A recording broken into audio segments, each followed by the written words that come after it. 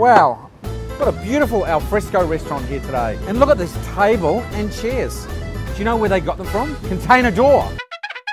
Can I take your order, sir? I'll have the spaghetti, thank you. This restaurant's pissing me off. My meal's late. That crying baby hasn't shut up since I've been here. I'm gonna go and have a word to him. Excuse me, can you quieten that baby down? Holy sh!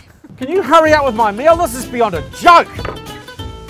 Oh, Christ! What sort of an outfit is this? Hmm, not a bad restaurant. Bloody fresh food. This is the best value in the country for this contemporary furniture. It only takes a minute to set up. You've done it again, Container Door. Perfect for a sit down, have a coffee, read the paper. What about a kids area? Check this out. Amazing. And in the bedroom or the study, jump on your laptop, do some work. I love these things. We had three chickens today that laid eggs.